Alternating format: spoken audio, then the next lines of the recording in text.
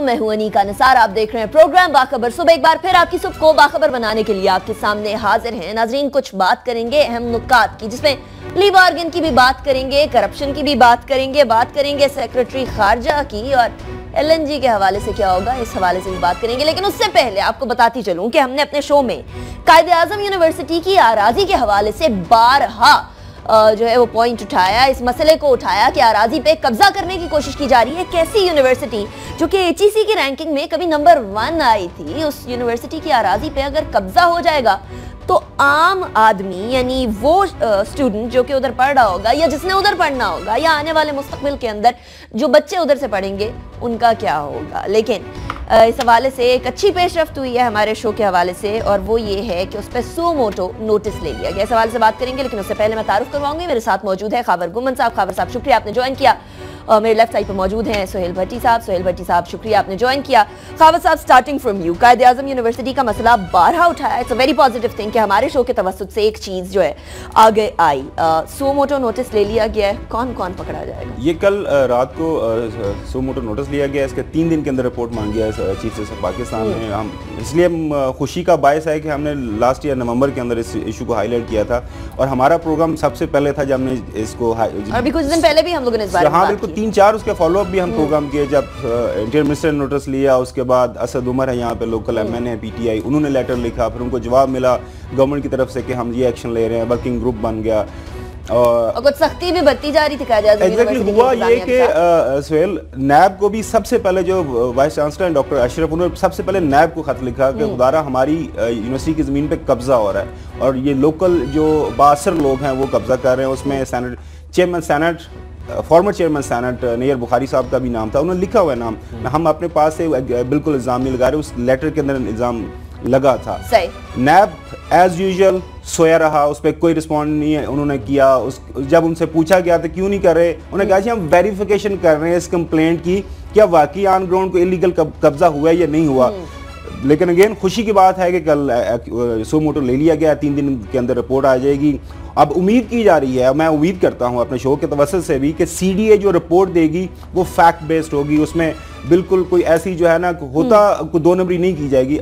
होता असल में ये है कि बाज़ात ये जो लोग हैं इन्फ्लुएंशियल लोग हैं वो कोर्ट को भी धोखा दे दे जाते हैं। क्योंकि रिपोर्ट देनी है सीडीए ने। अगर सीडीए रिपोर्ट वहाँ पे दे जाए जाके दे देगा कोर्ट को जी बिल्कुल कोई कब्जा ही कोई नहीं है कोई लोग इसमें इन्वॉल्व नहीं है। तो सीडीए में कब्जा माफिया के बारे में थोड़ा थोड़ा सा क्योंकि सुप्रीम कोर्ट खुद नहीं जाके कहीं हाँ, चीज़ देखनी होती। जो स्टेट के इंस्टीट्यूशन हैं उन्हीं के थ्रू उन्होंने वहाँ पे रिपोर्ट लेनी है। तो अगर ये स्टेट के इंस्टीट्यूशन जाके रिपोर्ट दे देंगे सब अच्छे की सुप्रीम कोर्ट फिर उस पर क्या करेगा? रिपोर्ट हाँ। ठीक है जी कह रहे सब रिपोर्ट देनी है ना खावा साहब। पहले भी सीडीए का डेलीगेशन गया है देखा कुछ नहीं किया। अगर कुछ करना होता तो सीडीए के डेलीगेशन है उसी टाइम पे कर लेना होता। सीडीए के बारे में तो पहले कहा जाता है कि काली भेड़ें बेशुमार हैं और कब्जा माफिया जो ऐसी इलीगल किस्म की रेजिडेंशियल स्कीम्स वो सारी चीज़ें सामने है। तो हमें क्या गारंटी है कि इसके बारे में प्रॉपर रिपोर्ट दी जाएगी? कल कुछ एक्शन बैलेंस कल रात को यूनिवर्सिटी इंतजामिया की तरफ़ से एक स्पेशल थैंक का मैसेज भी मुझे रिसीव हुआ। उन्होंने कहा जी आप लोगों की बड़ी मेहरबानी कि आप लोगों ने इशू को हाईलाइट किया और इस लेवल पे हो गया। मुल्क की आला अदलिया ने इसको नोटिस ले लिया है। वो एक चीज़ उन्होंने हाईलाइट की कि आप लोग भी इस पे जरा सा चेक रखिएगा इसकी मॉनिटरिंग कीजिएगा कि जो रिपोर्ट हो वो फैक्ट बेस्ड हो हम तो हैं ही हैं यूनिवर्सिटी के अंदर वहाँ से हम आपको भी बताएँगे कि वो रिपोर्ट है क्या वो वाकई ठीक है या उसमें ये एस्टेब्लिश फैक्ट है कि वहाँ पे अराजी पर कब्जा है। दो माह कबल तो मीडिया ने और आपने मसला उठाया दो माह से मसला हाईलाइट था। हुकूमत तगड़ी हुकूमत वज़ीर दाखिला चौधरी साहब तगड़े वफाकी वज़ीर। उसके बावजूद दो माह के दौरान क्यों कार्रवाई अमली तौर पर नहीं हो सकी और बिलाखिर मजबूरन सुप्रीम कोर्ट को इस मोटर नोटिस लेना पड़ा? वो, वो उसमें अब जब दूसरे टॉपिक पे जाएँगे ना आप उसका जवाब देंगे आपकी जो स्टोरी है उसके अंदर जवाब है कि नैब के अंदर क्योंकि नैब सारा स्टोरी ना ब्रेक करें ना। पोलिटिसाइज नैब पोलिटिसाइज है नैब को जब लेटर लिखा गया तो नैब चुप रहा जब नैब चुप रहा तो उसको आपको पता नैब क्यों चुप रहता है? वहाँ जब पॉलिटिक्स इन्वॉल्व हो जाती है नैब चुप चुप कर जाता है। इंटीरियर मिनिस्टर पॉलिटिक्स इन्वॉल्व चुप कर उम्मीद करते हैं कि ये ये ये जो एक्शन है इसका जो सोमोटो एक्शन है इसका कोई बेहतर नताज निकले। नैब नैब की बात तो कर ही दी अब मैं बता भी देती हूँ कि असल मसला क्या है कि करप्शन करप्शन जारी थी। करप्शन के बाद जो शख्स करप्शन करता है चंद पैसे देकर अपनी बाकी जो अमाउंट है उसको माफ़ करा लेता है। ये होती है प्ली बार्गेन इसके बारे में प्रेसिडेंशियल ऑर्डिनेंस आया कुछ दिन पहले लेकिन अब ये प्रेसिडेंशियल ऑर्डिनेंस के खिलाफ सेनेट उठ खड़ी हुई है। ये क्या बात हुई सोहेल साहब? मतलब एक अच्छी चीज़ सामने आ रही थी हुकूमत की। क्या बाकी जमातों को ये पसंद नहीं आया अनिका सुप्रीम कोर्ट ऑफ़ पाकिस्तान और तमाम सियासी जमातों की जानब से मुतफ़ा तौर पर कहा गया कि नैब का कानून की वो शिक जो कि 25 बी है हम्म। वो करप्शन के फ़रोग का बाइस बन रही है। हम्म। इस इतफाक़ राय के बाद जब सुप्रीम कोर्ट का सख्त हफुजात सामने आया और प्रेशर बहुत ज़्यादा बिल्ट हुआ और उसके बाद मुश्ताक रईसानी साहब के साथ जो प्ली बारगेन कर ली गई तीन साढ़े तीन अरब रुपए के इवज़ उसके बाद वफाकी हुकूमत ने जब ये देखा कि इससे पहले कि सुप्रीम कोर्ट इसको स्ट्राइक डाउन कर दे हम्म। हमारे जराये का ये कहना है कि जिसकी अंदरूनी कहानी अब सामने आ रही है नैब के साथ भी मशावरत की गई। नैब के उस वक्त काफ़ी अंडर प्रेशर था। सुप्रीम कोर्ट के अंदर केस मुसलसल इसकी समात हो रही थी जिसके बाद ये फैसला किया गया कि अवाम का बहुत ज़्यादा प्रेशर आ गया। तो सदारती ऑर्डिनेंस जारी करके एटलीस्ट उस शिक के अंदर तरमीम कर दी जाए जो कि चेयरमैन नैब को इख्तियार देती है कि जिस शख्स ने जो करप्शन की है हम्म। उससे कुछ रकम का वो खुद डिटरमिन करें और उसके बाद उसके साथ प्ली बार गेन करने और कोर्ट से अप्रूवल दिलवा के वो बंदा रिहा हो जाए। उसके अंदर तरमीम की गई चेयरमैन नैब से इख्तियार वापस लिया गया अदालत को इख्तियार दिया गया और उस शख्स को ताहयात नाहल कर, नाहल करा दिया गया। उसके बाद इंटरेस्टिंग कहानी यहाँ से शुरू होती है वो सारी जमातें जो पहले इस शिक की मुखालफत कर रही थी। जब हम्म। इसके अंदर तरमीम हुई और जब वो सेनेट के इजलास शुरू हुआ तो वहाँ पे टेबल किया गया उसको एक्ट के अंदर कन्वर्ट कराने के लिए उसको प्रॉपर उसको उसकी मंजूरी हासिल करने के लिए। हैरान कन तौर के ऊपर पाकिस्तान पीपल्स पार्टी की जानब से वहाँ पर सबसे ज़्यादा घुमन साहब मुखालफत की गई। ये और इसकी इसका, इसका बैकग्राउंड भी बताते हैं। मुखालफत की गई करारदाद के खिलाफ ज़्यादा वोट आए। अल्टीमेटली हुकूमत को वहाँ पे शिकस्त से दो चार होना पड़ा और वो कानून जो ऑर्डिनेंस के ज़रिए तरमीम की गई थी वो गैर मौसर हो गया पीपल्स हम्म। पार्टी क्यों मुखालफत कर रही है मानती है कि ये शिक करप्शन के फरोग का बायस बन रही थी अब पीपल्स पार्टी चाहती है कि हुकूमत चूँकि फंसी हुई है सुप्रीम कोर्ट का भी प्रेशर है पीपल्स पार्टी ये चाहती है कि जो मौजूदा न्याय का कानून है इसको मुकम्मल तो इस मौजूदा न्याय को खत्म कर दिया जाए एक नया एहतसाब का इदारा बनाया जाए हम्म। जिसका सिंध के अंदर कार्रवाई करने का कोई इख्तियार हासिल ना हो। ठीक है। सिंध के अंदर अगर कभी उस उस नए साहब के इदारे को अगर वो सिंध में कोई कार्रवाई करने लगे या पीपल्स पार्टी के लोगों के खिलाफ अगर सिंध में जाए तो सिंध हुकूमत से पहले परमिशन हासिल करे। वफाकी हुकूमत इसके ऊपर तैयार नहीं चूँकि गुजशत तीन सालों के दौरान मौजूदा नैब ने अड़सठ फ़ीसद जो कार्रवाई करप्शन के खिलाफ की हैं वो सिंध के अंदर की हैं। अब इसी बात के ऊपर पीपल्स पार्टी को सख्त तहफात हैं। अच्छा उसके साथ अब सवाल ये पैदा होता है फिर कौन सा ऐसा एहसाब का इदारा होना चाहिए जो वक्त की ज़रूरत भी है करप्शन के खात्मे अच्छा, के लिए? इस क्वेश्चन पर आते हैं कि कौन सा ऐसा इदारा होना चाहिए लेकिन खबर साहब सवाल ये पैदा होता है कि पीपल्स पार्टी से तो एक्सपेक्टेड था कि करप्शन के बारे में वहाँ शर्जील मेमन साहब वहाँ डॉक्टर आसिम साहब और जरदारी साहब के बारे में बड़ी सवाल उठाए गए कायम अली शाह साहब के बारे में बड़े सवाल उठाए गए। वो ज़ाहिर सी बात है सिंध को तो मसला होना ही होना था। अब ऐसा कैसे हो सकता है कि एक एहतसाब का कौमी इदारा हो और एक सूबे के अंदर ये प्रेसिडेंशियल ऑर्डर आया था उसके फॉलोइंग डे हमने प्रोग्राम किया। तो मेरे उस दिन मेरे ये तहफात थे ये जो ऑर्डिनेंस आया है। बिल्कुल ये पोलिटिकल एक सियासी स्टंट है और हम्म। कुछ नहीं है। उसकी वजह ये कि देखिए नैब की जो सारी की सारी प्रॉब्लम है वो शुरू होती है appointment of the chairman NAB से। अपॉइंटमेंट हम्म। नैब का चेयरमैन कौन अपॉइंट करता है? प्राइम मिनिस्टर अपोजिशन लीडर जो दोनों जिन्होंने चेक अपोजिशन का काम होता है गवर्नमेंट पे चेक रखना। हम्म। उनकी और गवर्नमेंट की मर्ज़ी से नैब का चेयरमैन अपॉइंट होगा। जब आप selection of the NAB chairman ही आपको कंप्रोमाइज हो जाएगी हम्म। तो उसके बाद नैब क्या करेगा? नैब वही करेगा जो सोहेल बता रहे हैं ना उसके बाद जो 68 परसेंट सेवेंटी परसेंट जो केसेस हैं वो इसे हल करेंगे। और ये जो प्ली बार्गेन का जब लोगों को बताया कि हमने देखें कितना अब उसने स्पेशल प्रेस कॉन्फ्रेंस की सारे उसने गवर्नमेंट के मिनिस्टर से मुल्क की तारीख के अंदर इससे अच्छा कानून नहीं आया। वो कानून आपने देख लिया कल कानून अच्छा कानून अच्छा एक में थोड़ा इसमें थोड़ा दुनिया के अंदर एक में थोड़ा सा और इसमें ऐड करता चलूँ। देखिए आपने एक 20 रुकनी कमेटी बना दी हम्म। उसमें तेरह एम एन सात सैनिटर्स उसको ये काम दिया गया था कि आप नए कानून की पे सिफारशात पेश करें। तो आप कमेटी को काम करने दें सफारशात लें पब्लिक हेयरिंग करें लोगों से इनपुट लें उसके बाद नया कानून लेके आए। बजाय इसके कि आपने वो एक प्ली बार्गेन का लोगों को सिर्फ़ पब्लिक कंजम्पशन के लिए कि देखें हमने ये प्ली बार्गेन खत्म कर दी। उसके बाद उस उसमें भी कुछ कुछ ऐसी उन्होंने क्लासेस रखे थे कि फिर भी प्ली बार्गेन लेकिन ये मुझे बताइएगा सुहेल साहब अब जिस तरह आप फरमा रहे थे कि कौन सा ऐसा इदारा होना चाहिए जो कि बड़ा आइडियल होगा कौन सी ऐसे कानून होने चाहिए जो कि बड़े आइडियल होंगे।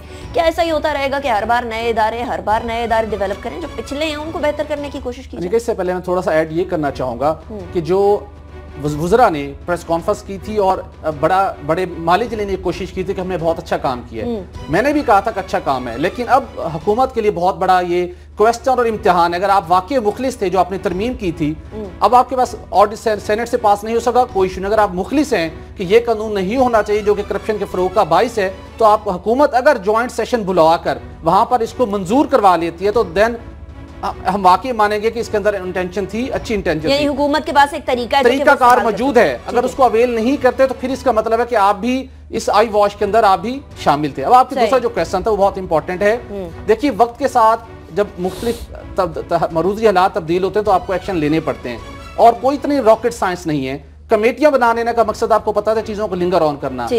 एक ऐसा एहतसाब कमीशन जिसके जो कि एक फ्री एंड फेयर होकर काम कर सके उसकी ज़रूरत है वक्त की। और वो सिर्फ़ ऐसा ही हो सकता है जिसके अंदर लीडर ऑफ़ द हाउस वह जो वक्त के वजी अजम हो या अपोजिशन लीडर हो उनकी मंशा के बगैर उनकी आपस में कम्युनिकेशन उनकी तफाक राय के बगैर इंडिपेंडेंटली चेयरमैन नैब या एहतसाब कमीशन का जो भी बने इदारा बने वो सारी उसके सरबराह का पोलिटिकल इंटरवेंशन रहा सुप्रीम कोर्ट की तरफ़ से अपॉइंटमेंट हो जाए वहाँ से अपॉइंटमेंट और आप अगर आपकी इंटेंशन है कि दहशत गर्दी के बाद पाकिस्तान के अंदर सबसे बड़ा जो थ्रेट है वो करप्शन का है। सही। उसको अगर आपने खत्म करना तो फिर आपको फ्री एंड फेयर इदारा बनाना सही होगा। है द- दहशतगर्दी और करप्शन के नेक्सस की भी बड़ी बात हुई कि दहशतगर्दी और करप्शन का जो नेक्सस है जो एक विश्व सर्कल है जो एक दूसरे के ऊपर मुनहसर है इसको खत्म करना होगा। इसको तब खत्म करेंगे जब डेफिनेटली सियासी विल होगी सियासी विल होगी तो कवानीन प्रॉपर पास होंगे और उन पर इम्प्लीमेंटेशन होगी क्योंकि कवानीन तो टफिस बना दिए जाते हैं इम्प्लीमेंटेशन किधर जाती है लेकिन इम्प्लीमेंटेशन एक चीज़ की होने लगी और वो है अगले सेक्रेटरी खारजा का लगना।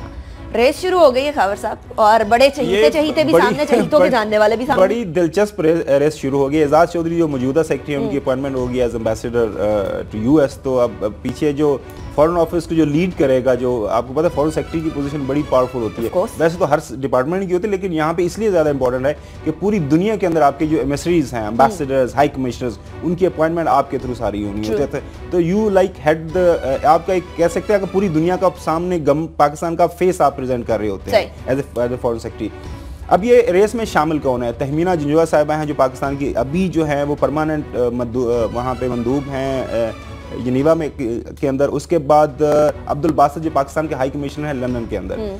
सॉरी दिल्ली के अंदर। ये पहले डिप्टी हाई कमिश्नर लंदन में भी रहे अब यहाँ पे हैं इंडिया के अंदर। अब ये इनके जरा नेक टू नेक चल रहा है। अब ये है कि जो फातमी साहब हैं वो पुश कर रहे हैं तहमीना साहबा को। तहमीना साहबा जूनियर हैं तो वहाँ पे जो वहाँ से इंफॉर्मेशन आ रही है फॉरन ऑफ़िस से वो ये है कि फातमी साहब का ये ख्याल है कि तहमीना जंजुआ फीमेल हैं थोड़ा सा वो उनके साथ उनका जो रेपो अच्छी हो सकती है उनको डोसाइल हैं उनकी बात मान लेंगी। इसका बैकग्राउंड ये क्यों ऐसा होता है? नहीं माजरत के साथ हर फ़िल्म में ऐसा क्यों होता है कि फीमेल्स को अंडर नहीं, नहीं, एस्टिमेट किया जाए कि वो डोसाइल मैं- मैं। वो- उन, उनकी ख्वाहिश है कोशिश है हो सकता है वो जब उनकी अपॉइंटमेंट हो तो वो वो उल्टा पड़ जाए उल्टा पड़ जाए लेकिन वो उनकी ख्वाहिश है। हुआ ये था कि जब एजाज चौधरी की अपॉइंटमेंट हुई थी तब भी अब्दुल बासित साहब ये उस टाइम एम्बेसडर थे जर्मनी के अंदर इनको वापस बुलाया गया। ऑलमोस्ट नोटिफिकेशन इशू हो गया था फातमी साहब अड़ गए थे। उसकी वजह यह कि अब्दुल बासत जो है बड़े ज़बरदस्त ऑफिसर हैं फॉरन सर्विस के। 2007-8 में मैं लंदन में था जब वहाँ भी डिप्टी हाई कमिश्नर थे उनके साथ काफ़ी इंटरेक्शन रही है। बड़े बड़े थारो जेंटलमैन ये कोई ना प्रॉपरली ट्रेन फॉरेन सर्विस के ऑफिसर हैं। हाई कमिश्नर देखिए नहीं नहीं मैं मैं थोड़ा सा हाई कमिश्नर ये अभी दिल्ली में है दिल्ली के अंदर हाई कमिश्नर बड़ी इंपॉर्टेंट पोजीशन होती है। उसके बाद ये यूरोप जर्मनी में रहे हैं उसके बाद अलावा ये एडिशनल सेक्रेटरी यूरोप रहे हैं जो फॉरन ऑफ़िस का सारी की सारी इंटरेक्शन यूरोप के साथ होती है वो इनके अंडर रही है। तो वो इनका जो एक्सपीरियंस काफ़ी ज़्यादा है और पाकिस्तानी मिलिट्री एस्टेब्लिशमेंट कह रहे हैं उनका भी जो है इन पे ट्रस्ट काफ़ी है। इंडिया के अंदर जो हाई कमीशन जाता है वो बहुत मज़ा हुआ जब तक ना हो तो वहाँ एग्जैक्टली तो वो असल में होना उनको चाहिए। लेकिन चांसेस जो मेरी इतला के मुताबिक ये है। एक और इसमें गालिब कमाल साहब भी हैं। वो। वो क्या कहते हैं कि मुझे वो अंडर हॉर्स करना है। अंडरडॉग हैं देखते हैं वो वो वो कामयाब होते हैं या नहीं? इंडिया के अंदर बहुत ज़्यादा कोई जारहाना किस्म की पॉलिसी सामने नहीं लेकर आ सकी। ये हम लोगों के सामने चीज़ है। तो एज अ फॉरेन सेक्रेटरी ये बड़ी इंपॉर्टेंट पोस्ट है और कई जगह पर इधर जारहाना तरीका कार इस्तेमाल करना पड़ता है कई जगह पर मेलो तरीका कार इस्तेमाल करना पड़ता है। वो कैसे लेकर चले? हाँ, अनिका ये थोड़ा सा जो आपका क्वेश्चन है कि जारहाना देखिए एम्बेसडर या हाई कमीशन होता है वो जो आप, आपको गवर्नमेंट को रिप्रेजेंट कर रहा होता। है। जब गवर्नमेंट प्राइम मिनिस्टर साहब कह रहे हैं आपके साथ आप मोदी के साथ थोड़ा से आप दोस्ताना ताल्लुकात अ, बढ़ाना चाहते हैं तो वहाँ पे आपका हाई कमिश्नर एम्बेसडर उनके साथ लड़ाई तो नहीं करेगा ना? तो आपका सवाल कि जारहाना वो उन्हें रिप्रेजेंट करना होता है गवर्नमेंट को। गवर्नमेंट जो पीछे से लाइन दे रही होती है कि this is what we want इस तरह का हम रिलेशनशिप प्यार है हैं जिस कंट्री में आप हैं तो वो गवर्नमेंट को रिप्रेजेंट कर रहे थे और उन्होंने कोशिश की। वहाँ पे देखें जारहाना की बात कर रहे हैं उन्होंने दो तीन दफ़ा वहाँ पे जो अपने कश्मीरी हरियत है उनकी लीडरशिप से बात करने की कोशिश इवन बात की।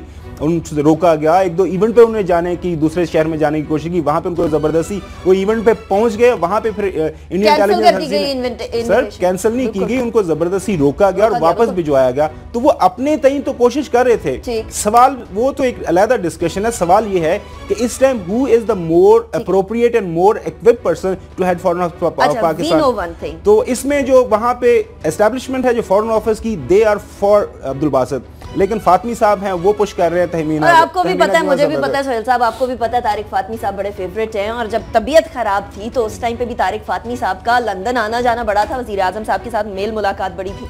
ऐसा तो नहीं होगा फिर चहीतों के चहीते जीत निका और घुमन साहब आपको इस चीज़ को मद्देनजर रखना होगा जब ये अपॉइंटमेंट्स होगी और स्पेशली दुनिया के तीन ऐसे ममालिक जिसमें अमेरिका बरतानिया और भारत शामिल है यहाँ पर जब भी सफ़ीरों की अपॉइंटमेंट का मामला आता है हम्म। वहाँ पर उस वक्त मेरिट और किसी की कॉम्पिटेंसी लेवल शायद कुछ काफ़ी पीछे चला जाता है जो भी गवर्नमेंट्स होती है उसकी प्रायोरिटी ये होती है कि इन तीनों ममालिक के अंदर उनके जो कॉन्फिडेंस के जो सफ़ीर हो इन्वेस्टर हो और उसके बाद जो वहाँ पे उनके साथ डिफरेंट बैक डोर डिफरेंट चीज़ें इश्यूज़ चल रहे होते हैं डिफरेंट मामला होते हैं और जो गवर्नमेंट के माइंड में प्लान होता है कि इस तरीके से हमने चीज़ों को रन करना है हम्म। इस तरीके से वहाँ पर हमने बैक डोर लॉबिंग करनी है किस तरीके से चीज़ों को वहाँ पे पाकिस्तान के इंटरेस्ट या गवर्नमेंट के इश्यूज़ को वहाँ पे हैंडल करना है। तो मेरे ख्याल में वहाँ पर फेवरेटिज्म ज़्यादा मैटर करती है जिसके ऊपर आपका कॉन्फिडेंस है। मेरिट में ख्याल में पीछे रह जाता है। मेरा ख्याल तो ये अच्छा आपके सोर्सेज क्या कहते हैं? ज़्यादा चांसेस क्या हैं? यानी आप ये जो जो जो आप जिसकी तरफ़ रेफर कर रही है ना कि फातमी साहब वो प्राइम साहब के बड़े क्लोज हैं। और चूँकि पहले भी उन्हें एजाज चौधरी साहब को ले आए थे तो अभी उम्मीद यही की जा रही है कि वो तहमीना साहबा को फॉरन सेक्रेटरी अपॉइंट करने में कामयाब हो जाएँगे। अभी देखिए प्राइम मिनिस्टर साहब के साथ प्रेजेंटेशन उनके सामने होंगी दो तीन ऑफिसर्स की। ये ये ये टॉप लिस्ट में है इसमें अब जो भी प्राइम मिनिस्टर साहब मुनासिब समझेंगे। अगेन फातमी साहब बहुत करीब हैं तो और वो वो तारिक फातमी साहब और सरताज अज़ीज़ साहब के बीच का कंपटीशन भी हमें याद है तो फिर जीत जिसकी हुई थी कहीं जीत इस बार फिर उनकी तो नहीं हो जाएगी ये अच्छा भी आपने याद करवा दिया सरताज अज़ीज़ साहब अब्दुल बासित साहब के हक अब्दुल बासित साहब। मतलब यहाँ फिर वही वाली चीज़ आ गई ना सरताज अज़ीज़ साहब वर्सेज तारिक फातमी साहब। चलिए अगले टॉपिक की तरफ़ चलते हैं। यहाँ तो तारिक फातमी साहब वर्सेस सरताज अज़ीज़ साहब है लेकिन एक जगह पर पीटीआई वर्सेस पीएमएल है ना और बड़े ही जोरों शोर से है। और वो है court room number two supreme court का यानी पैनमा लीक्स का केस क्या चल रहा है? मैंने सुना है मेरे वालिद साहब ने जो मुझे बताया है वो ये बताया कि मखदूम अली खान साहब के साथ कुछ अच्छा नहीं हो रहा। अच्छा नहीं मैं आपको बताऊँ मैं अनिका चूँकि शुरू दिन से वहाँ पे सुन रहा हूँ और पहले दिन से जब सारी हेयरिंग सुन रही है तो यू कैन कनेक्ट के जब लॉयर अब किस तरफ़ लेके जा रहा है। हम्म। कल की जो सारी की सारी हेयरिंग है ना वो बिल्कुल एविडेंस जो है ये मनी ट्रेल की उस तरफ़ तो आ ही नहीं रहे महदूम साहब। हम्म। महदूम साहब अब लेके जा रहे हैं सारे सारे केस को लीगल ग्राउंड के ऊपर। पहले उन्होंने आर्टिकल 66 इन्वोक किया जिसके तहत उन्होंने ये बताया कि प्राइम मिनिस्टर ने जो on the floor of house जो भी चीज़ें कही हैं उनको आप क्वेश्चन नहीं कर सकते। Any court of law agreed क्योंकि कॉन्स्टिट्यूशन के अंदर आपको प्रोटेक्शन है। अब वो कल उन्हें एक नया आर्टिकल ज़िक्र किया article 10 A article 10 A talks about the fair trial के किसी भी पाकिस्तानी शहरी का ये बेसिक हक है कि वो किसी भी कोर्ट ऑफ़ लॉ के अंदर सोहेल वो अपना जो राइट है राइट टू फेयर ट्रायल वो उसको क्लेम कर सके। अब फेयर ट्रायल का क्या इस मकसद ये है? अब वो एक जो डॉट्स मिलाने की कोशिश कर रहे हैं मखदूम साहब, कि आप जो ये केस आपने 184.3 के अंदर लिया हुआ है, ये एक तो आपकी लिमिट्स थोड़ी सी क्रॉस कर रहे हैं। जब प्राइम मिनिस्टर को आप टारगेट करेंगे और खुदा खासा अगर आप प्राइम मिनिस्टर को घर भिजवाते हैं तो प्राइम मिनिस्टर के पास एक चांस होना चाहिए ताकि वो वो दोबारा अपील कर सकें या फेयर ट्रायल की तरफ़ जा सकें। उनको आप इतनी आसानी से ना निकाल सकें। इनको भी साइड पे रखें। बाकी जो जो इस टाइम जो हुकूमत हुकूमती अरकान है उनका जो पैनिक देखें कल भी हमने हाईलाइट किया था। अब वो देखने की चीज़ है वो बहुत ज़्यादा घबराए हुए हैं। अब वो टारगेट कर रहे हैं। दाना अज़ीज़ सुप्रीम कोर्ट को टारगेट कर रहे हैं। हम्म। हाजा हाजा आसफ टारगेट कर रहे हैं। खाजा साद रफीक टारगेट कर रहे हैं। मरियम औरंगज़ेब टारगेट कर रहे हैं। अब क्या कह रहे हैं? कहते हैं जी बाकी सारी दुनिया के पॉलिटिशियन के केसेस सुप्रीम कोर्ट में वहाँ पे तो कोई डे टू डे हेयरिंग नहीं हो रही। हम्म। हमारे प्राइम मिनिस्टर साहब क्यों हो रही है? और कल जब ये सुप्रीम कोर्ट के अंदर भी थोड़ा सा इसका हाईलाइट हुआ तो वहाँ पे भी जस्टिस खोसा जिस फाइव मेंबर बेंच को हेड कर उन्होंने कहा जनाब एक चीज़ में रखिएगा। ये पब्लिक इंपॉर्टेंस की अपील इसलिए हमने एक्सेप्ट की हुई है कि he prime minister Nawaz Sharif he is representing 200 million 20 crore आवाम को वो रिप्रेजेंट कर रहे हैं। हम we are talking about office holder prime minister की सीट पे जो शख्स बैठा हुआ है हम उसकी बात कर रहे हैं। हम किसी एक हम पॉलिटिशियन की बात नहीं हम कर रहे हम पॉलिटिशियन हम की बात एमएनए की बात नहीं कर रहे हम किसी एक single member of the national assembly की बात नहीं कर रहे उसके राइट्स होंगे as member of the national assembly लेकिन हमारा जो है ना एज एज ए कोर्ट जो हम देख रहे हैं एक कोवरंटो का वहाँ पे काफ़ी इशू डिस्कस हुआ। को वरोंटो का जो उसका मकसद ये होता है कोई भी पब्लिक ऑफ़िस होल्डर सोहेल उसकी जो पोजीशन को चैलेंज कर सकते हैं कि क्या वाकई वो इंटाइटल है उस पोजीशन रखने को कि नहीं? क्या वो अपनी ड्यूटी सरचार्ज डिस्चार्ज ठीक कर या नहीं कर क्या वो सादक अमीन सादक या अमीन है या नहीं? कल कोर्ट ने साफ़ बता दिया कि केस को हमने आगे लेके जाना है। अब बेशक हमें ये कानून की जिन मर्ज़ी भूल भलाइयों में ले, लेके जाएँ केस को हमने डिसाइड करना और हम ये करके ये तमाम जजेस भी मंझे हुए वकील रहे हैं। जजेस बने हैं तो किसी काम से बने हैं। भूल भुलाइयों में तो नहीं उन्हें लेकर जाया जा सकता। डेफिनेट सी बात है दे हैव सर्टेन एक्सपीरियंस लेकिन एक बात तो फोशोर है, एक जगह पब्लिक परसेप्शन है मीडिया की परसेप्शन है सोशल मीडिया की परसेप्शन है और एक जगह कानून है। यानी हो सकता है कुछ जगहों पर ये चीज़ें मुख्तलिफ़ भी हों, दोनों चीज़ें आपस में। कल मीडिया की और पब्लिक परसेप्शन की भी बात की गई, एक प्रेशर भी तो होता है जनरल पब्लिक ए, एक मैं अनिका साथ सवाल कर दूँ क्योंकि सोहेल काफ़ी घूमता रहता है मिनिस्ट्रीज के अंदर। थोड़ी सी हमें बताएँ कि मिनिस्ट्रीज के अंदर क्या वहाँ पे गपशप क्या चले? क्योंकि ऑफिसर्स जो हैं वो बड़े इस पे आजकल ना बड़ा इंटरेस्ट ले रहे हैं कि प्राइम मिनिस्टर सारे तो लगे हुए हैं जा रहे हैं। साहब सिर्फ़ मिनिस्ट्री नहीं बल्कि गवर्नमेंट की जो कहते हैं ना फ्रंट लाइन की जो लोग हैं वहाँ पे भी बड़ा पैनिक है। और वो पैनिक आपको रिफ्लेक्ट होता दिखाई भी देता है। गुजशत चंद रोज की समात के दौरान मखदूम अली खान साहब के दलाइल से। सही। मुझे ये लगता है कि मखदूम अली खान साहब को किसी हद तक वो ये भाप चुके हैं कि सुप्रीम कोर्ट जो इस केस की तहकीकात के लिए जिस तरह हुकूमत एक्सपेक्ट कर रही थी कि कमीशन बनेगा मामला आगे चलेगा फिर तस्दीक शुदा दस्तावेजात बैरून मुल्क जाना पड़ेगा तो ये मामला इतना लिंगर ऑन हो जाएगा कि इसको स्टैब्लिश करना मुश्किल हो पाएगा। लेकिन जो इससे पहले जिस बैंक ने समात की थी उन्होंने भी इसको पॉइंट आउट कर दिया था कि कमीशन में जाने से पहले वो वज़ीर आज़म का केस निपटाना चाहते हैं। लेकिन मौजूदा बेंच ने जिस तरीके से चीज़ों को कंटिन्यू कर रहा है मखदूम अली खान साहब को ये फील हो रहा है कि कमीशन तो यकीनन बनेगा जिस पैमाने के ऊपर पनामा लीग्स के अंदर मामला सामने आए थे। लेकिन ये बेंच जिस तरीके से चीज़ों को प्रसू कर रहे हैं और अब जजेस भी कह रहे हैं वज़ीर आज़म का मामला 20 करोड़ अवाम का अवाम को वारंटों की बात हो रही है। और मखदूम अली खान साहब ने पहले इस्तेसना के ऊपर बहुत ज़्यादा बात की। अब 184 थ्री के हवाले से भी बात कर रहे हैं। ए की तरफ़ जा रहे हैं। ए की तरफ़ भी जा रहे हैं। तो उन्हें ये लगता है कि सुप्रीम कोर्ट को किसी तरीके से कन्विंस किया जाए कि इस स्टेज के ऊपर हियरिंग करने के दौरान वज़ीर आज़म के से मुतलिक उनकी अहलियत से मुतलिक कोई फैसला ना आ जाए। ये बड़ा थ्रेट है और यही पैनिक है। न सिर्फ़ मिनिस्ट्रियों में और बल्कि वजुरा के अंदर ठीक है ब्रेक की तरफ़ जाना है। वन सेंटेंस अब जो जो मखदूम साहब ने वैसे अपने वाले साहब से पूछेगा वो प्राइम मिनिस्टर के साथ अच्छाई करते करते ना वो उनको बड़े ट्रैप में ले गया वो इतने केस ला उन्होंने प्रेजेंट कर दिया कि उन्होंने सुप्रीम कोर्ट को सारी ऑप्शन दे दी हैं। वैसे तो उनकी कोशिश है देखिए कि वकील ने तो वो करना है जो उनको क्लाइंट दे रहे हैं। क्लाइंट अगर खुद बार बार ऐसी स्टेटमेंट्स दे दे जो बिल्कुल कॉन्ट्रोडिक्टरी हैं तो फिर वकील क्या करेगा वो जो वहाँ पे जो गप चल रही होती है ना सुप्रीम कोर्ट में वो कहते हैं कि इतनी बारी बरकम फ़ीस ली हुई है मखदूम साहब ने तो उसको जस्टिफाई करने के चक्कर में है। इसलिए वो बड़े बड़े केसेस सुना रहे होते हैं कभी इंग्लैंड के कभी ऑस्ट्रेलिया के कभी न्यूजीलैंड के। ब्रेक की तरफ़ जाते हैं लेकिन ब्रेक कहीं प्राइम मिनिस्टर साहब को ना मिल जाए, ये भी खतरा। अब लिंगर ऑन कर रहा है, जिस तरीके से यहाँ खावर साहब ने पॉलिटिशियंस का बताया तो यहाँ मिनिस्ट्रीज का सोहेल साहब ने बताया, लेकिन आम पब्लिक में भी तो ये थ्रेट है, आम पब्लिक में भी तो ये डर है कि अगर वज़ीर आज़म साहब चले जाएँगे तो अगला वज़ीर आज़म कौन आएगा? ब्रेक पे जाएँगे ब्रेक के बाद शो को कंटिन्यू करेंगे। Stay with us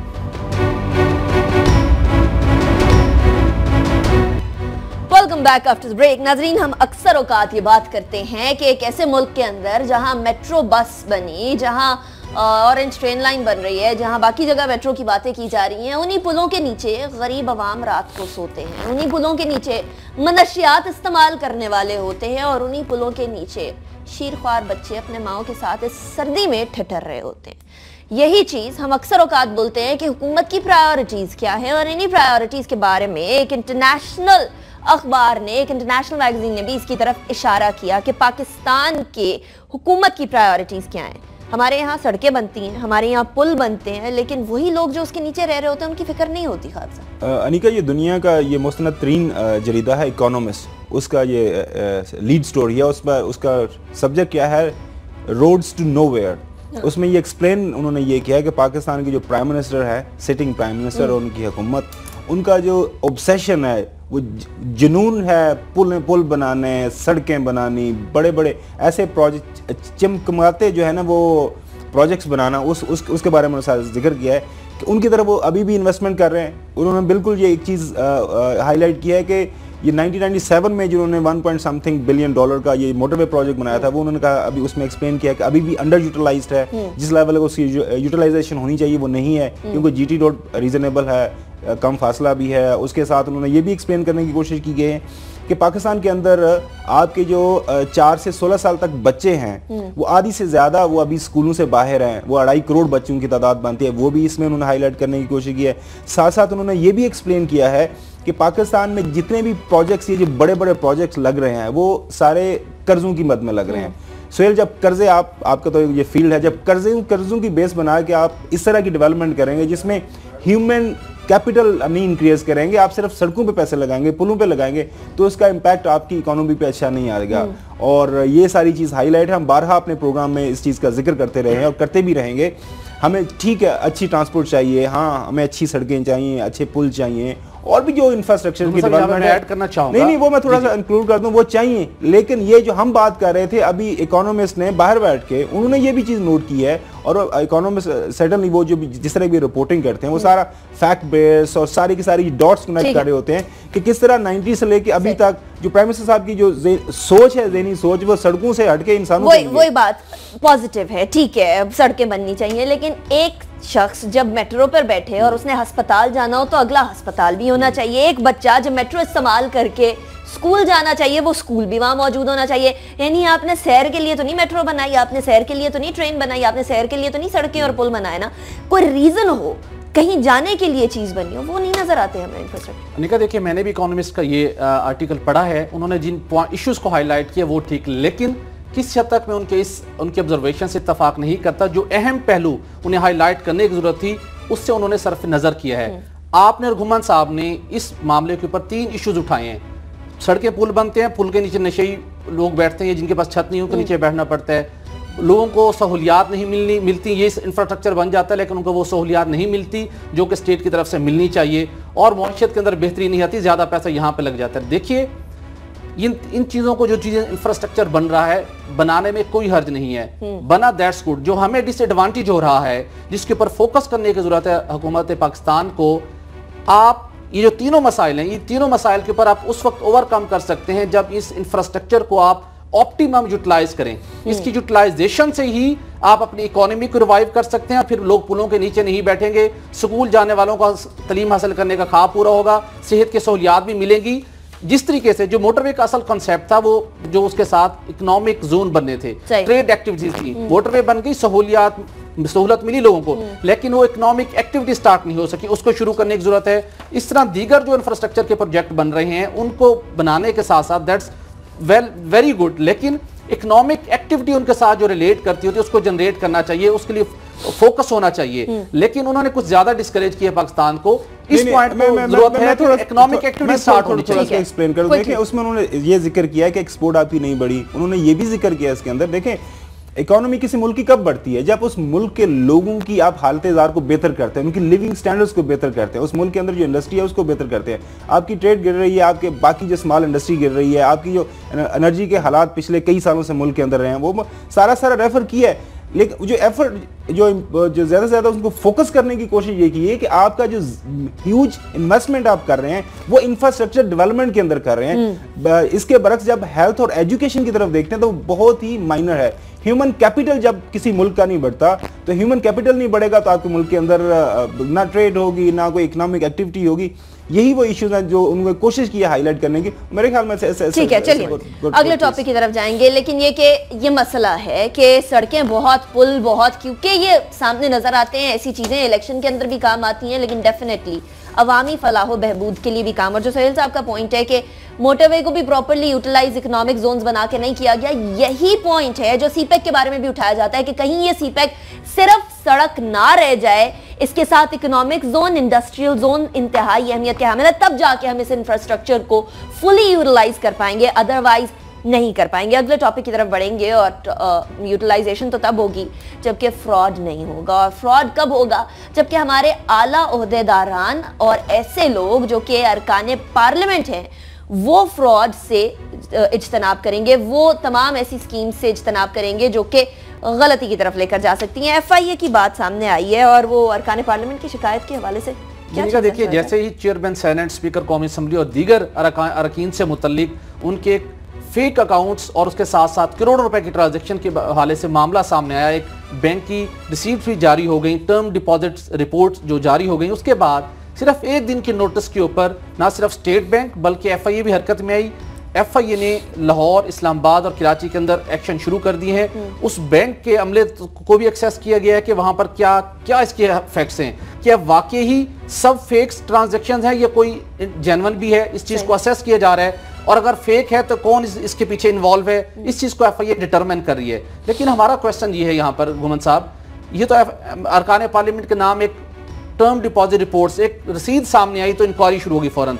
पाकिस्तान के अंदर daily Benazir income support programme के नाम के ऊपर। उसके बाद आप मैसेज किया जाता है कि आपकी आपके ये पैसे मिले हैं आप इसके मिल पच्चीस हज़ार उसके नाम के ऊपर लोगों से फ्रॉड किया जाता है। ई ईमेल्स में ई मेल्स हैं. ईमेल्स में कहा जाता है कि लॉटरी आपकी इस अकाउंट में इतने पैसे ट्रांसफ़र कराए तो हम आपको ये इंसेंटिव देंगे वो फ्रॉड किया जाता है। उसके साथ साथ गुजशत चंद दिनों से यहाँ पर बड़े वाकयात हुए हैं जो हमारी एटीएम मशीन है। आप- वहाँ पर एक स्कीमर्स इस्तेमाल किया जाता है। वहाँ पे फ्रॉड करने वाले लोग हैं जो एटीएम की मालूमात चुरा कर वैस... पैसे ट्रांसफ़र करते हैं। वैसे सोहेल मैं तो वो उस एहसास को सो, सोच रहा हूँ कि जब उनको लेटर मिला होगा घर में रसीद मिली होगी चेयरमैन सैनट को मौलाना फजल रहमान साहब को उसके अलावा स्पीकर नेशनल असम्बली को एतजाज एहसन साहब को कि उनके अकाउंट में 10 करोड़ 15 करोड़ आ गया तो मस्ट बी फीलिंग हैप्पी कि यार नहीं लेकिन ये बड़ा अच्छा फ्रॉड है कि उससे पैसे मिल रहे हैं। हमारे साथ कभी ऐसा फ्रॉड नहीं होता वो अभी प्रोड्यूसर साहब की अंदर आईएफबी से आवाज़ आई है कहते हैं जी मेरा तो एक दफ़ा घर भी निकल आया था यानी वो दूध का चला छाछ भी फूक फूक कर पीता है फिर इस तरह की अगर कोई चीज़ वाकई में निकल अच्छा, भी जो, है आ, तो जो आम लोग हैं जो उनके साथ फ्रॉड हो रहे हैं एफआईआई कोई हरकत नहीं आती। एफआई में जाए आप कार्रवाई एक्शन करवाने के लिए आपको लग पता जाएगा।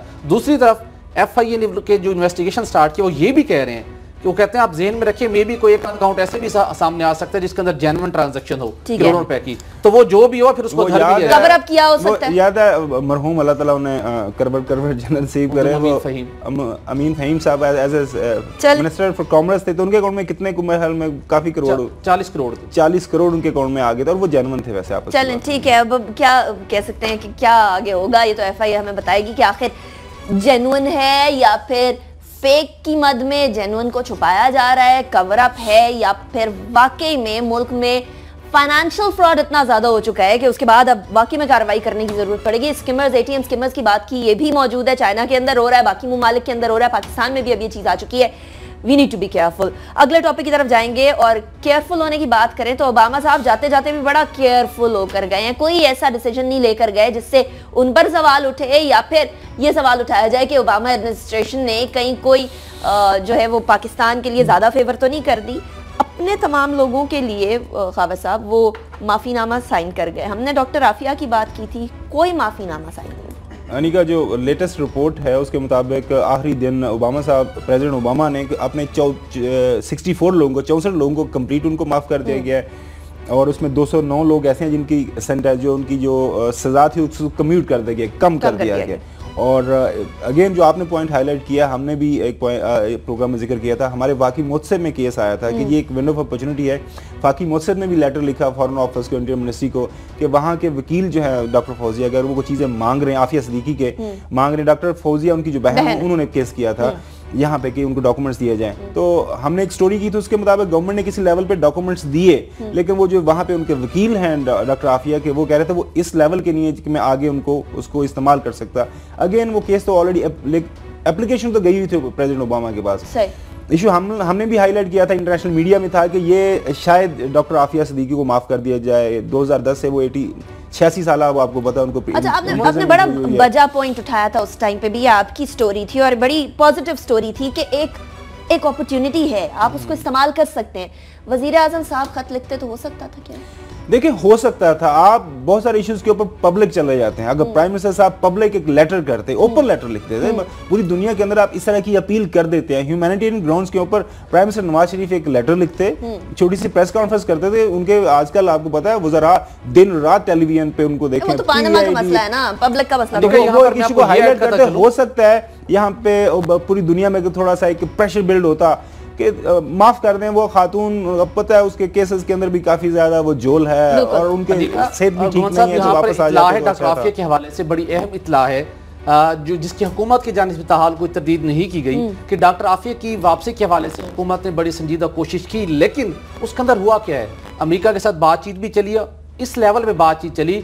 अमेरिका चाहता था कि डॉक्टर शकील अफरीदी को हमारे हवाले कर दीजिए हुकूमत इस बात पर राज़ी भी हो गई थी लेकिन हुआ क्या? पाकिस्तान ने अमेरिका से डॉक्टर आफिया के अलावा एक और शख्स जो कि वहाँ पर अमेरिका में गिरफ़्तार हैं पाकिस्तान हवालगी का मुतालबा किया है जिसके ऊपर अमेरिका ने कॉन्सेंट नहीं नाम दी। बताना है। पसंद कर। जिसकी वजह से जिसकी वजह से नाम भी डिस्क्लोज हो जाएगा आने वाले दिनों में जिसकी वजह से डॉक्टर आफिया का केस आ, तय नहीं हो सका। ये बड़ा हिरान है अगर डॉक्टर शकील अफरीदी या किसी और लेवल के पर कुछ उन्होंने अमेरिकन से कॉन्सेप्ट दी थी तो आपको फ़र्स्ट प्रायोरिटी के ऊपर कौम की इस बेटी को वापस लाना चाहिए था जिसका वजी ने वादा किया था। ठीक है यानी ये एक नया पहलू सामने आ गया कि जी डॉक्टर आफिया को लाया जा सकता था एक गिव एंड टेक की पॉलिसी भी तैयार हो गई थी लेकिन एक और नाम सामने आ गया क्योंकि बहुत सारे पाकिस्तानियों को कुछ शक की बिना पर कुछ वैसे केसेस बनाकर भी रखा गया था। ग्वांटानामो बे के अंदर भी बहुत सारे पाकिस्तानी थे लेकिन पाकिस्तान को अगर डिमांड करनी है तो पहले अपने घर को इतना मज़बूत करना होगा कि कोई दूसरा शख्स बात करने से पहले दस दफ़ा सोचे और उसके लिए हमें हमारी इकोनॉमी स्ट्रांग करनी होगी। और इकोनॉमी का हाल ये देखिए कि करंट अकाउंट डेफिसिट 92 परसेंट यानी बानवे फ़ीसद पे पहुँच चुका है खबर साहब पिछले साल जुलाई से लेकर दिसंबर तक ये जो मौजूदा सा- माली साल है उसका करंट अकाउंट डेफिसिट जो आम लोगों को समझने के लिए ये है कि हमारी कमाई सिर्फ़ आठ रुपए है अखराज बानवे रुपए हैं सौ रुपये में से। तो वो जो बानवे रुपए के अखराज है अब आप मजीद कर्जे पे कर्जे कर्जे पे कर्जे लेके पूरे कर रहे हैं। उसके अंदर जो चंद एक वजूहत हैं state bank state bank of Pakistan की रिपोर्ट है उसमें उन्होंने ये कहा है कि जी एक तो आपकी एक्सपोर्ट्स गिर रही हैं वो तेज़ी के साथ गिर रही हैं। उसके साथ उन्होंने ये कहा कि जो तरसीलात ज़र है जो हमारे जो समंदर पार पाकिस्तानी हमें पैसे भिजवाते हैं उनमें बहुत ज़्यादा कमी आ रही है।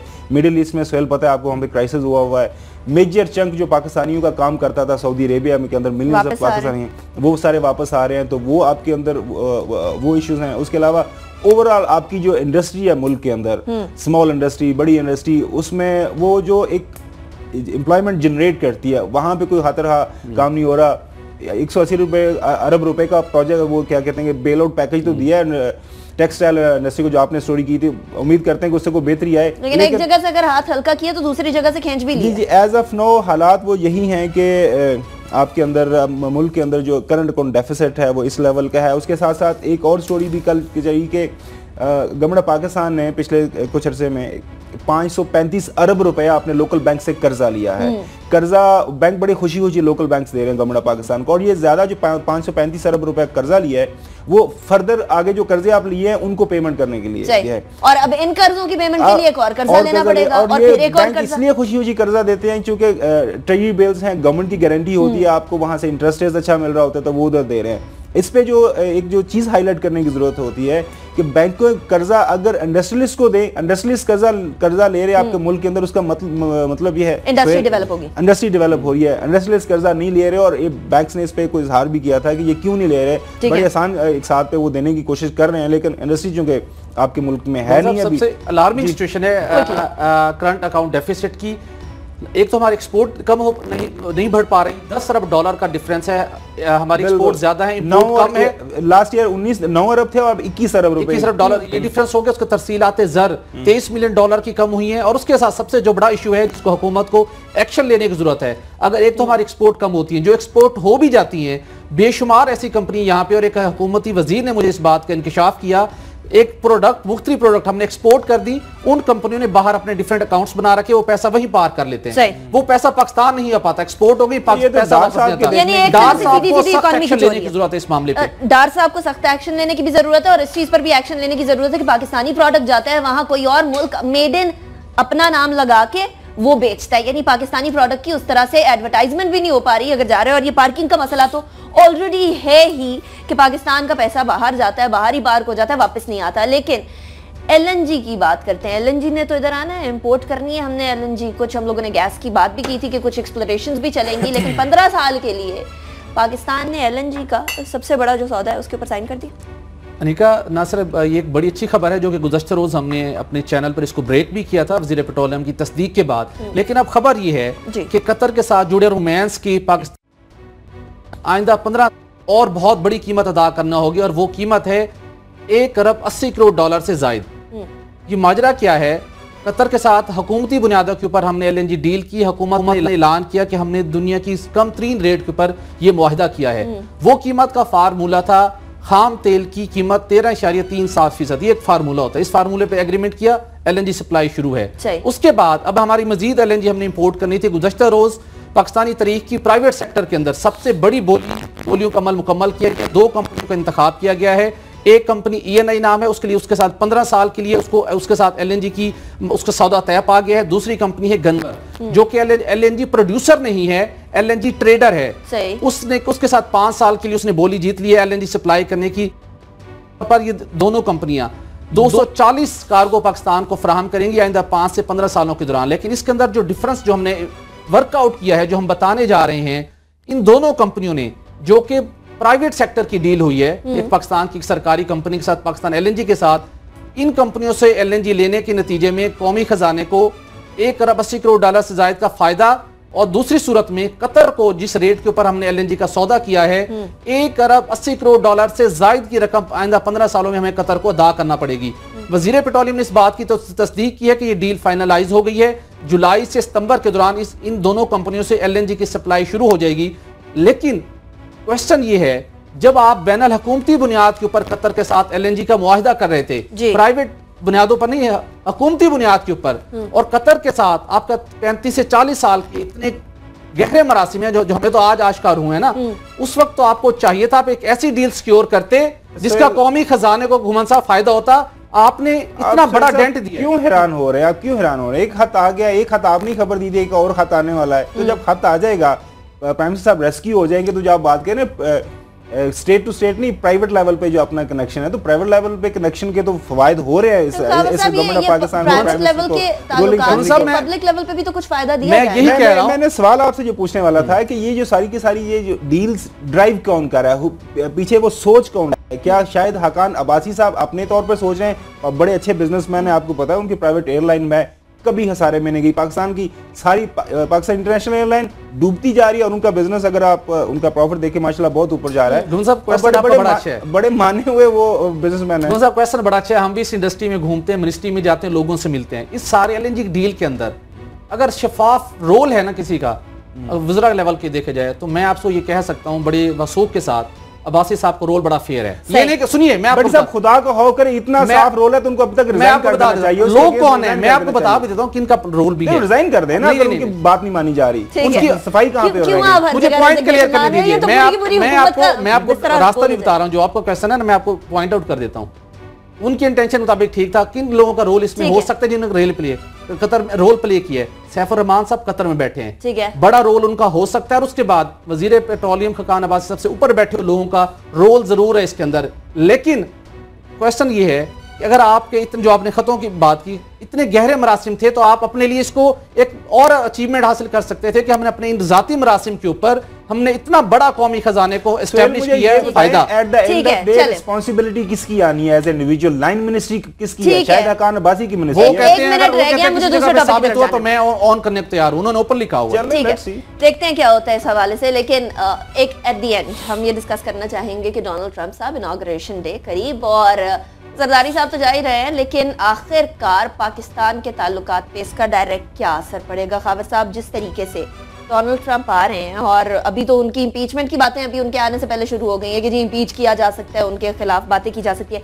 हमारे लिए तो ये चीज़ इंपॉर्टेंट है ना कि हमारे साथ कैसे ताल्लुक होंगे सारी दुनिया की नज़रें हैं यकीनन हमारी भी हैं क्योंकि हमारा हमेशा से अमेरिकन पॉलिसीज़ के ऊपर लाए हम बहुत ज़्यादा करते आ रहे हैं और उम्मीद करेंगे कि उसकी वजह यह कि हमारा उनके साथ हमारी इम्पोर्ट एक्सपोर्ट उसके साथ बहुत ज़्यादा है उसके अलावा कोलेशन स्पोर्ट फंड आजकल तो रोका हुआ लेकिन उम्मीद करते हैं वो हमें और पैसे देंगे। हमारी इकोनॉमी से लेके हमारे डिफेंस के जो भी ज़रूरियात हैं वो अभी तक तो यूएस पूरा करता आ रहा है और फ्यूचर में तो हम कोशिश कर रहे हैं रशिया चाइनीज़ की तरफ़ जाएँ लेकिन अभी तक वही करते आ रहे हैं। उम्मीद यही करते हैं कि हमारे साथ कुछ प्रैक्टिकल पॉलिसीज़ आएँगी जो कहते ऑन ग्राउंड जो हकाइक है उनको लेके आगे, आगे जाया जाएगा। ओबामा साहब ने हमें as a front line state तो इस्तेमाल किया चालीस साठ सत्तर हज़ार पाकिस्तानियों ने अपनी जानें दी हम्म। अमेरिकन जंग लड़ने के लिए।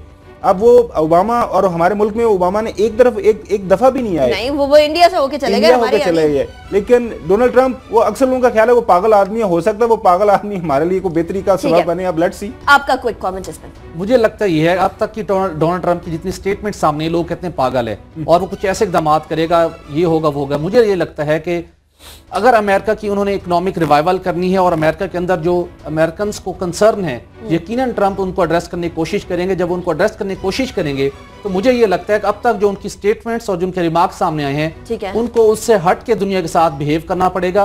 उनकी प्रायोरिटी यकीन रहेगी अमेरिका की इकोनॉमिक रिवाइवल जब इकोनॉमिक रिवाइवल करेंगे तो उनको फिर वो काम जो अब तक पिछले दौर हुकूमत में हैं। उनसे बाज रहना कामयाब रहे पूरी। ज़िंदगी में और वो कहते हैं जब मैं अपनी ज़िंदगी को कामयाबी से मैंने गुजार सकता हूँ बिजनेसमैन तो नवाज़ शरीफ साहब भी रहे वो उनके ऊपर भी सवाल आते हैं लेकिन अभी हमारे शो का वक्त खत्म हो गया। डोनाल्ड ट्रंप क्या करेंगे क्या नहीं करेंगे वो तो आकर पता चलेगा लेकिन इतना भी है कि अगर वो अपने कहे हुए या किए हुए तमाम वादों से इनहराफ करते हैं तो फिर अमरीकी अवाम भी ये सोचेगी कि आखिर वादे किए हुए बाकी मतलब हमारे मुल्क की तरह वफा नहीं होंगे तो फिर इम्पीचमेंट की बात भी साथ ही जारी है कि क्या होगा, क्या नहीं होगा। डोनाल्ड ट्रंप का मुस्तबिल पाकिस्तान के रिलेशन का मुस्तबिल देखेंगे आने वाले वक्तों में। लेकिन हमारे आज के शो से इतना ही। हमें फीडबैक ज़रूर दीजिएगा। बाखबर सुब के नाम से फेसबुक ट्विटर पर, दोनों पर मौजूद है। अपना बहुत ख्याल रखिए। अल्लाह हाफिज, नासिर।